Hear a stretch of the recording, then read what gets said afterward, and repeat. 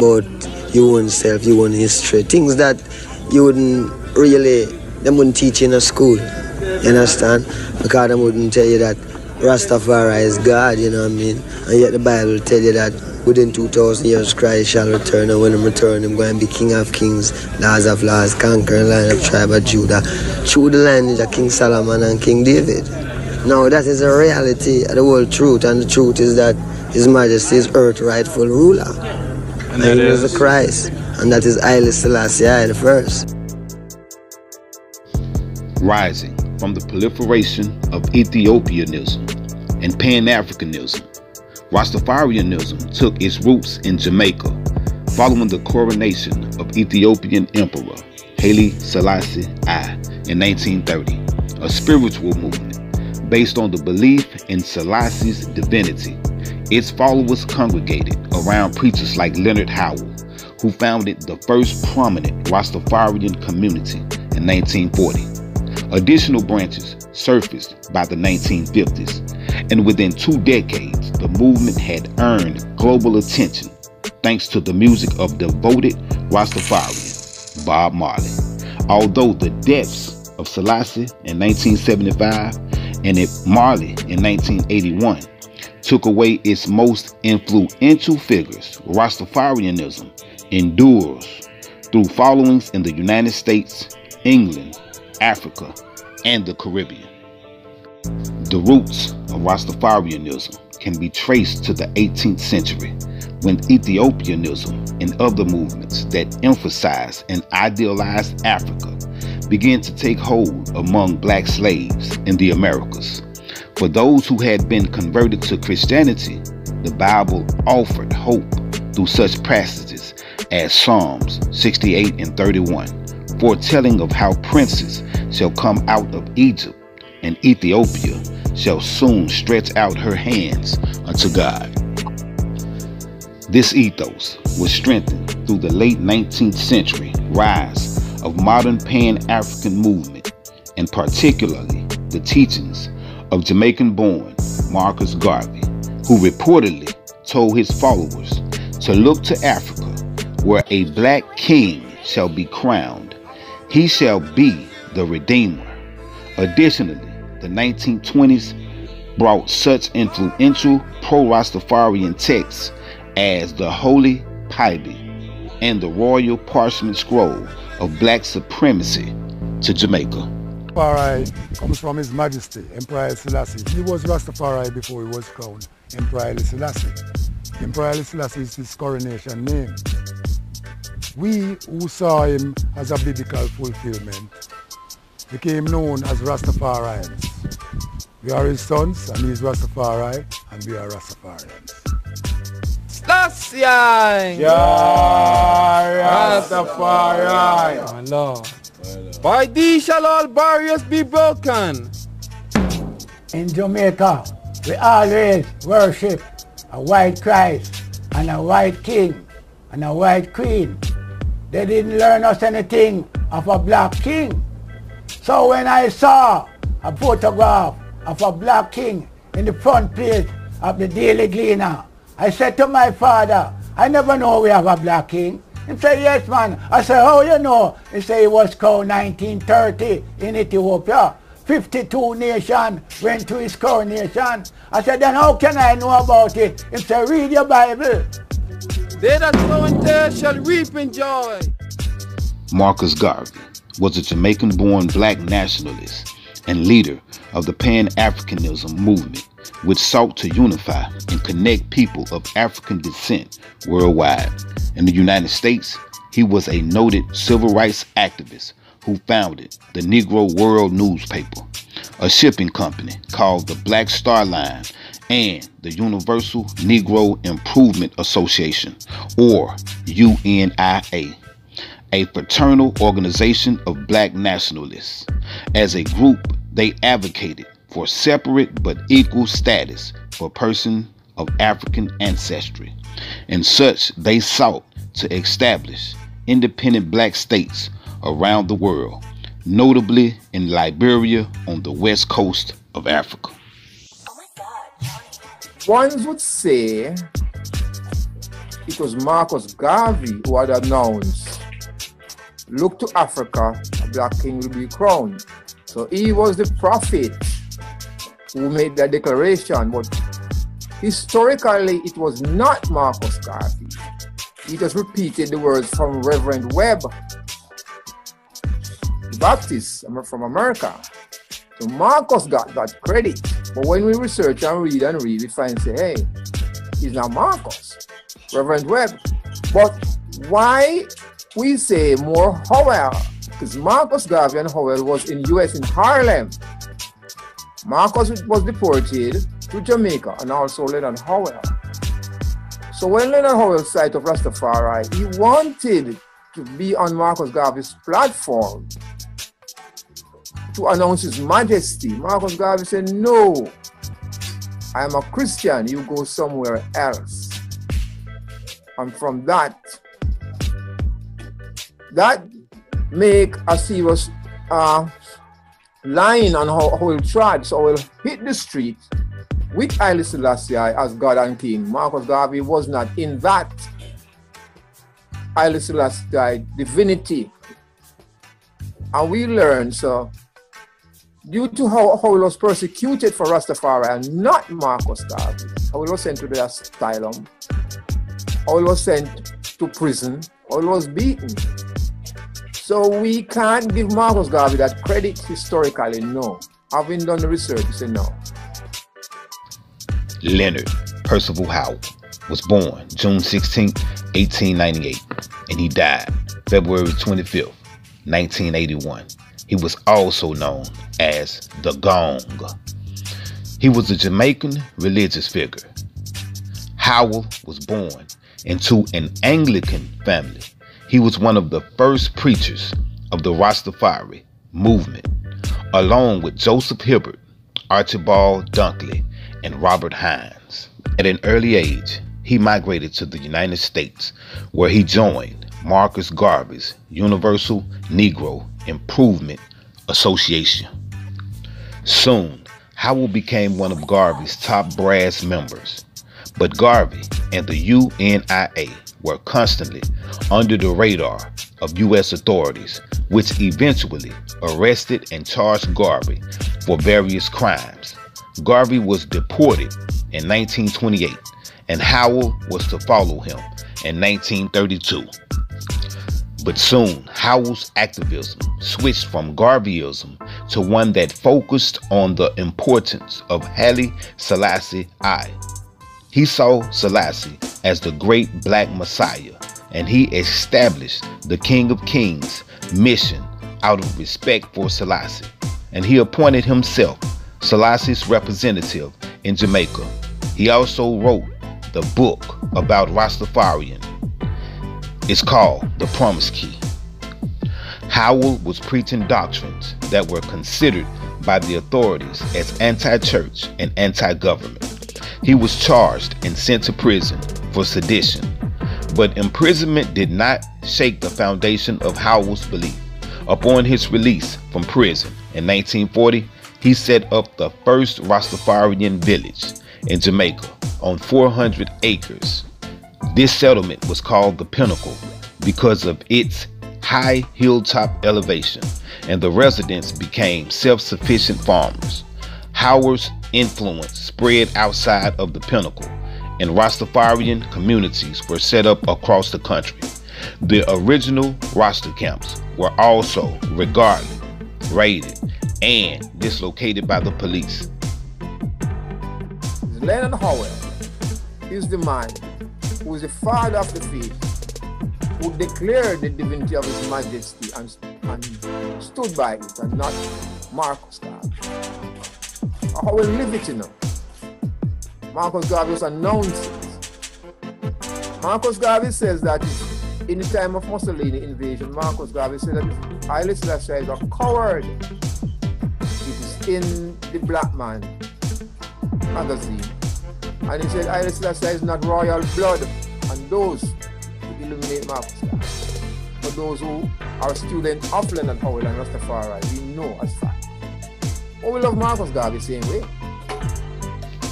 On November the 2nd, 1930, Rastafari Makonnen was crowned Emperor Haile Selassie I of Ethiopia, believed to be a descendant of King Solomon and the Queen of Sheba.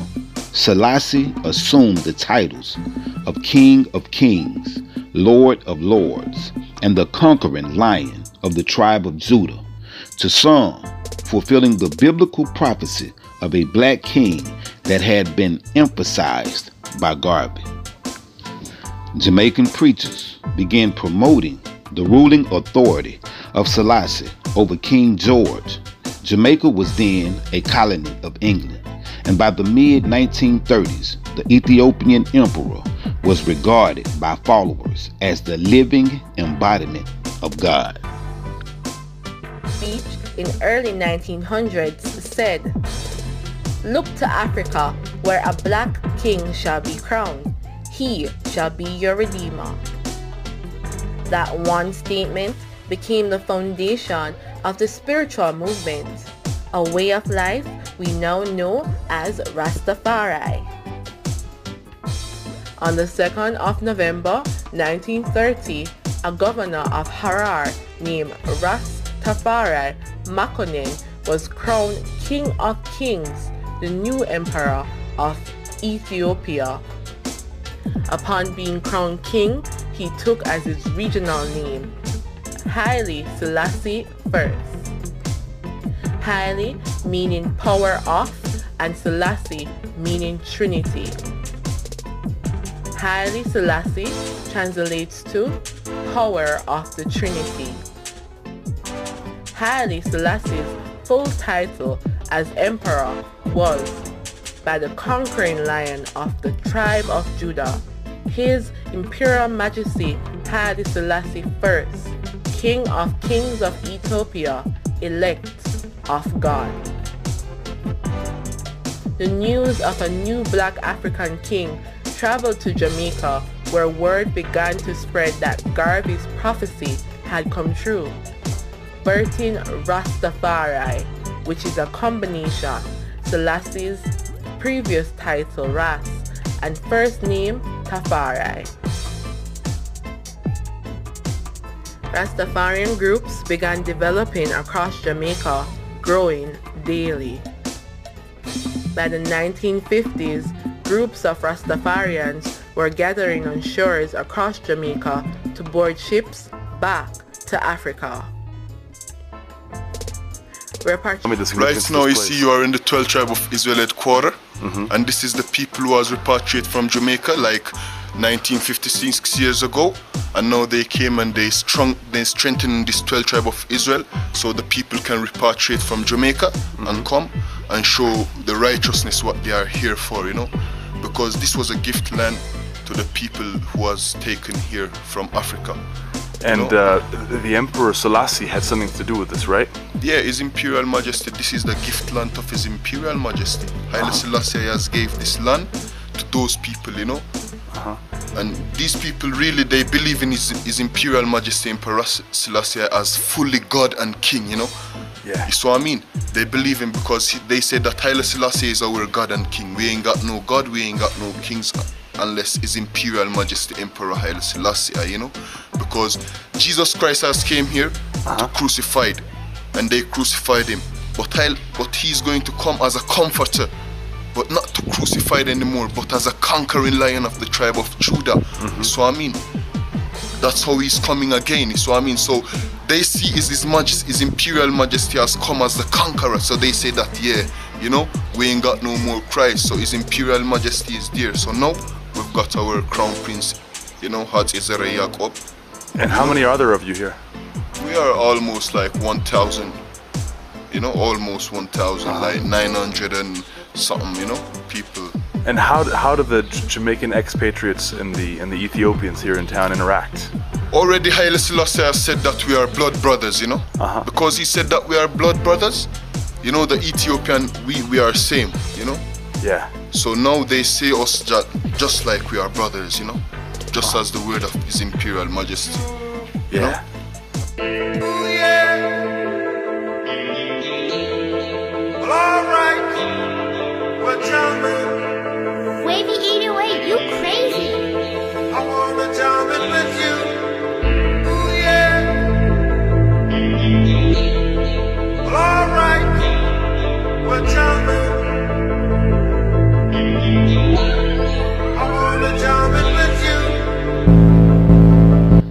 Why do Rastafarians wear dreadlocks?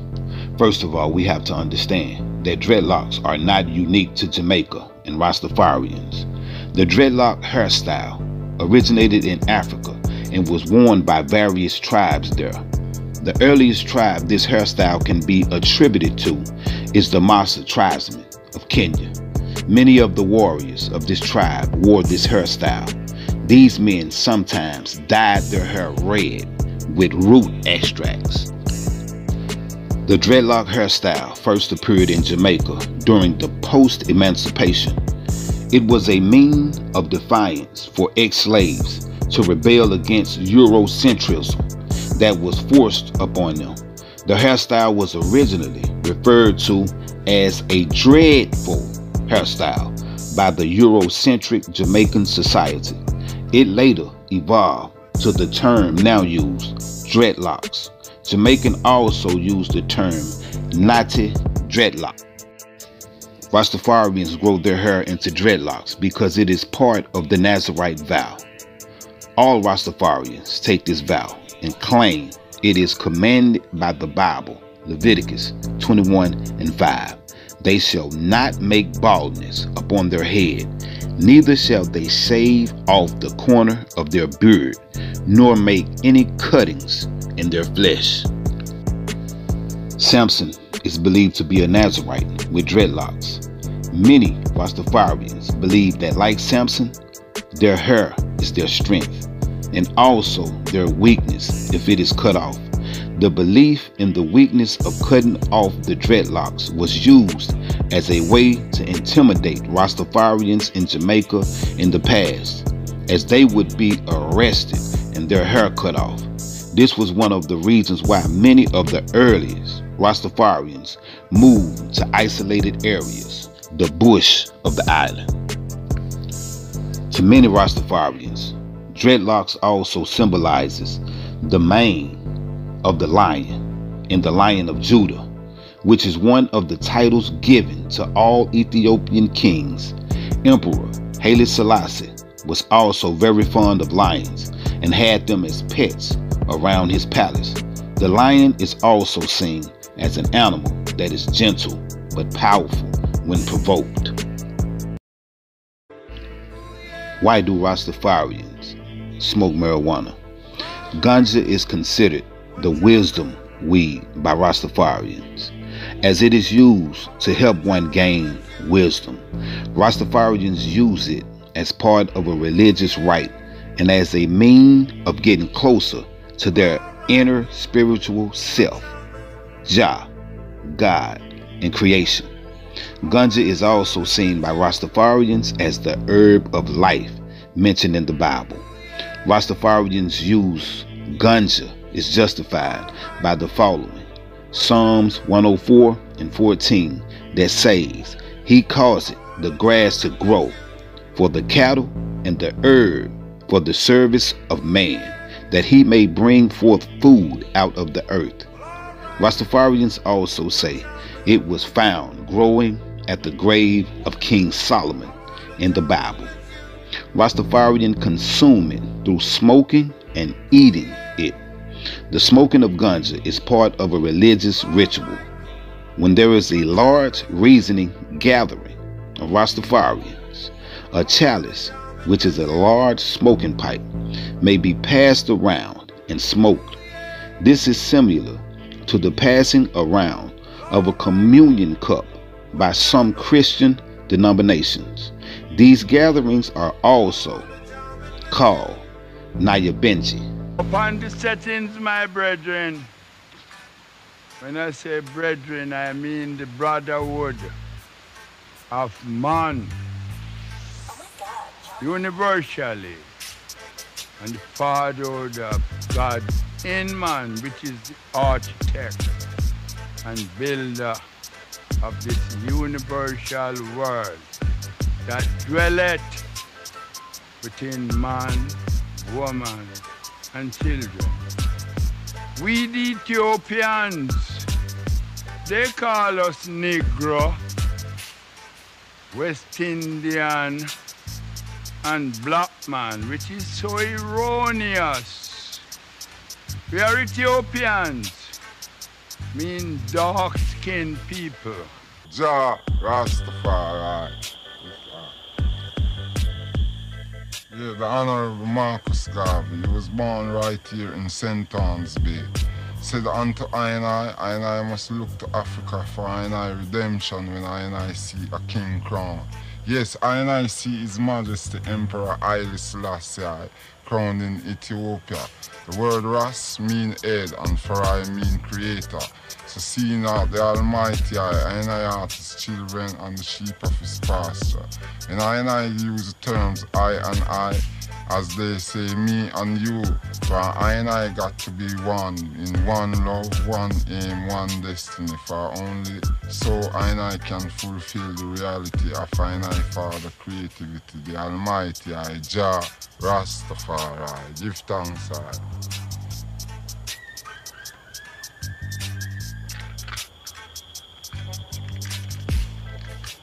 because of law.